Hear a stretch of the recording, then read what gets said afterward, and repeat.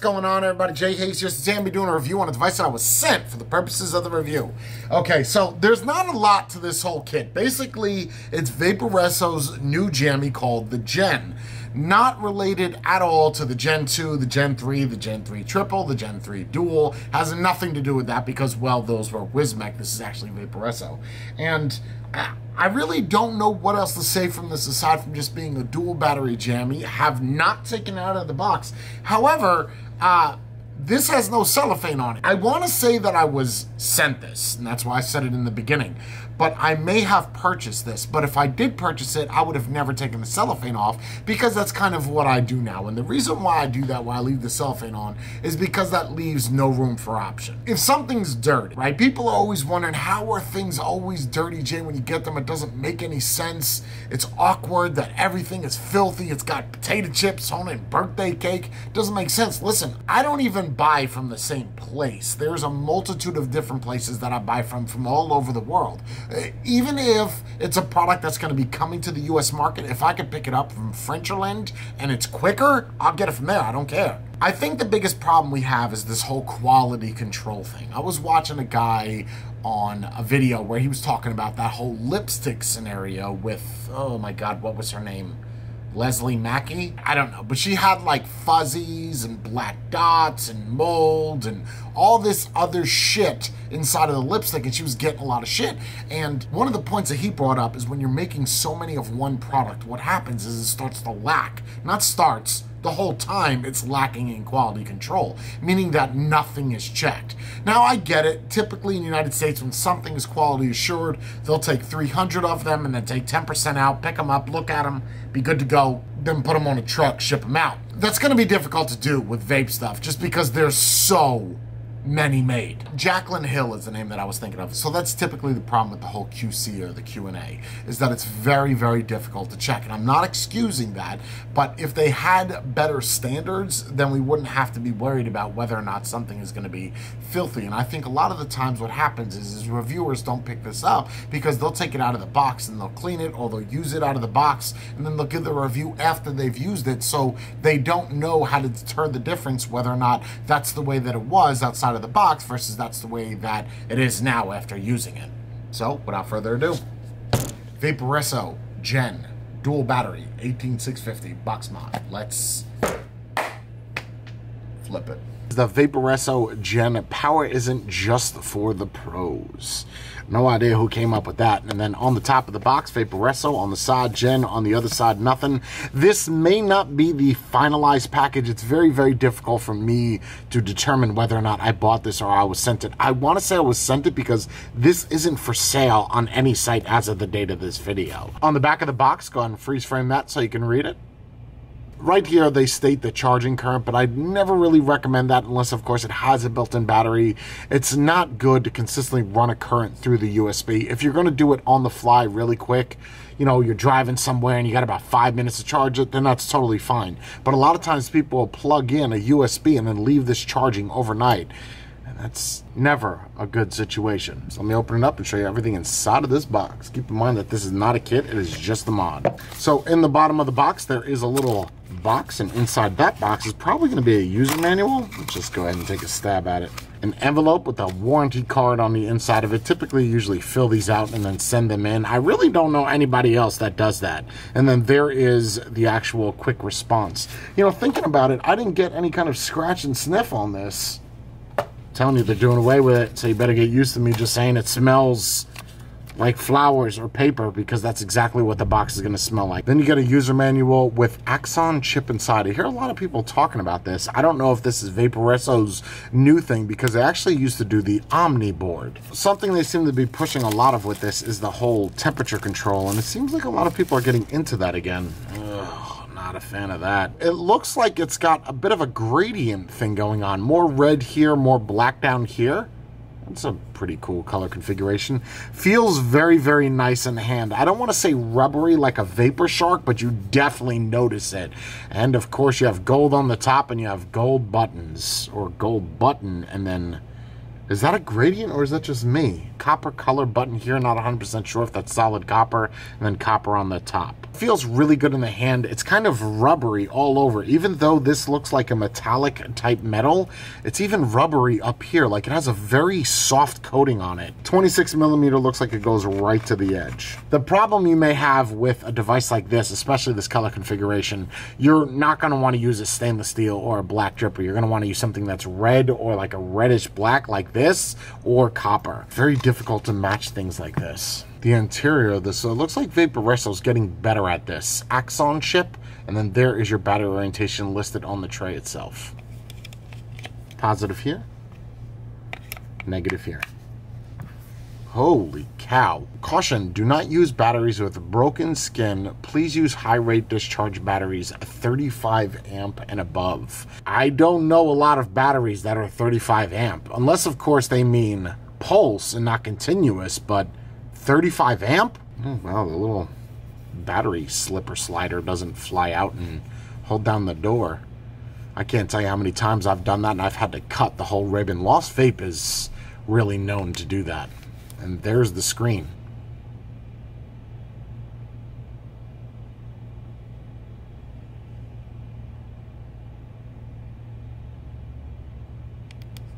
220 watts and it does not round robin back down. It literally goes in a one watt increment. What they should have done was at 20 to 50 goes up by one watt and then past that it goes up by five the longer you hold it. There's been a couple where you can actually change it to adjust that, but I'm not sure if there is any software for Vaporesso to adjust that like there is with DNA and eScribe. To lock the mod, one, two, three, You'll see a little lock down there in the corner. One, two, three to unlock. Over here on the left-hand side, you have your battery graphical display, 100%, the resistance of what you got, the last hit of how long it was, the watts, obviously, and pull, I'm assuming they mean pulse? So the way that their pulse works is kind of the way pulse width modulation works.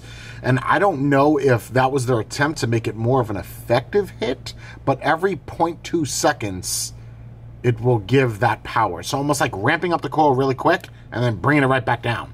But we're talking very two tenths of a second quicker than you blink your eye. Okay, so you have your pulse mode, which we just went over, and then you have your economy mode, saving battery life, smart TC, temperature control, do-it-yourself mode, and then system set, which is where you're going to access everything about this on the inside. In your system set, you're going to have a couple more options. Your puff counter, which is going to show you how many hits you have and the seconds. However, there is no way to put this on the main screen. You're stuck with the time.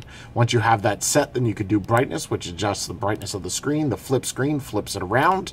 And then default's going to reset this back all to default settings from the factory. And then version is the firmware version that's on the chip itself. Wait a minute, isn't this the same name of the cameras that was used in that whole Chris Watts thing? Axon? Axiom? Screen seems a little bit dated for what this is. I don't know why they're just not adding a little bit more color. Well, I do because it would make it that much more money, but it would be nice if you could change something. Seems like we're going back to this whole basic. So on the coating of this, it's supposed to be scratch resistant and flame resistant. I don't want to say flame proof now, I don't recommend you to burn anything like toast it up, but I want to see how much of a scratch resistance this is. Let's be realistic. Let's take it on the side here and just... Wow. And uh, keep in mind that this is... I'm going to dig into this here. Hold on. Okay, so keep in mind that that was very, very deep. Here, where I'm scratching it, you see that? So if this is in your pocket, Wow. And we're going to take a razor real quick.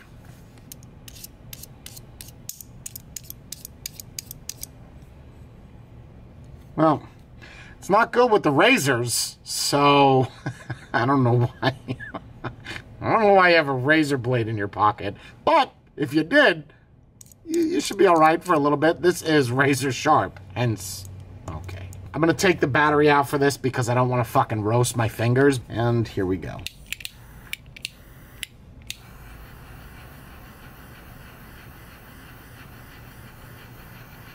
Wow. So, if you have a burning campfire in your pocket, you should be good to go as well. I,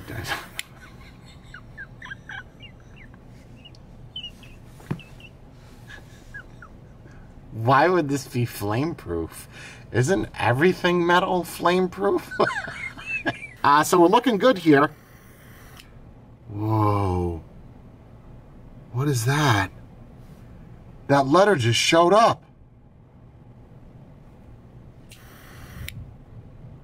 Does that say Gen underneath? You better shut your face right now. Dude, that says Gen underneath. You see it?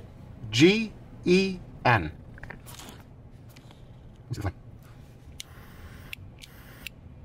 Gen.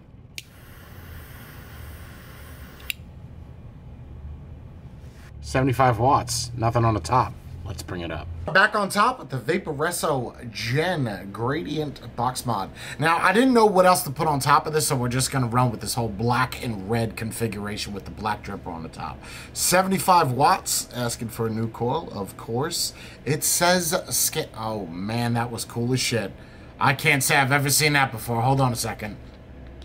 All right, so picking up nothing. Check atomizer, check this shit out. I hope this picks it up. New coil? Yes. Scanning. Okay. It's the little things, you know? Is it really scanning? No.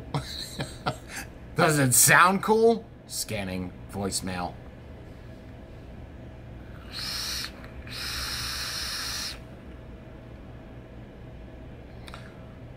It's very awkward the way that this hits. It almost hits like a PWM.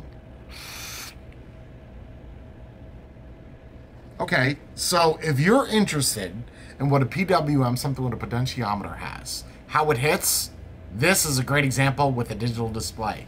I just did a review on something where it had a dial, and I was like, how come we never see anything that's digital with a dial? I cannot remember that video. But, what do you got? Zurich the Zurich X. That's right. I literally just did this video four days ago. And now here we are with a digital.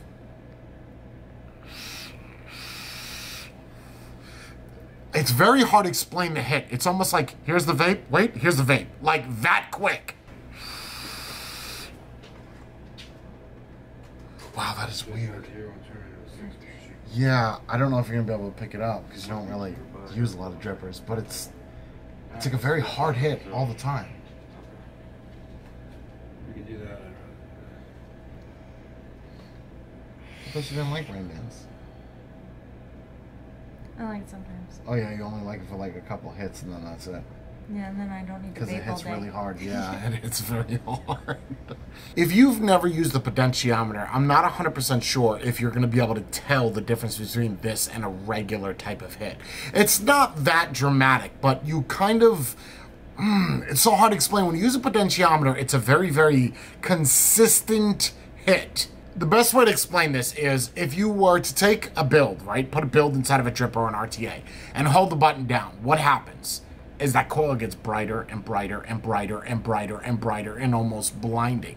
When you're using a potentiometer, it doesn't do that. It kind of gets bright and then cools down right and then goes right back up. Think of almost like a temperature control situation. Same type of deal the way that this hits. I like it. I do. I don't like the color configuration. I don't like the copper button.